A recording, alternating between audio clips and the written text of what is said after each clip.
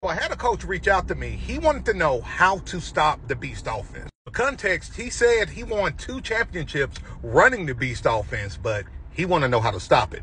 I got you. Be sure to save and bookmark this because I'm going to show you exactly what I would do. So the very first thing you want to do is to play the formation, not the field. What I mean by that is the big mistake that a lot of teams make is they have their players all spread it out, all spaced out, and that's what you do not want to do you want to shoot the gaps and you want to cause chaos on the first level, meaning the defensive line. If you can't shoot the gaps, at least you need to occupy the gaps. This is going to force clutter and this is going to allow your players to clean up. You can get into a monster look in the 4-4 Reaper defense to be able to shoot those gaps. But if you see the second level is real thin, oh, you can still get hurt, right? But what I would recommend doing instead is going into the Mayday look because this is going to allow you to shoot those gaps, make shifts, but you also got backside help if they go second level. Lastly, what I would not recommend you do is to run like a 3-3-5, 3-4 defense. If you got a thin first level, you're going to get mauled by the Beast offense. Just going to blow your guys off the ball, go second level, and they're going to break it for a big game every time.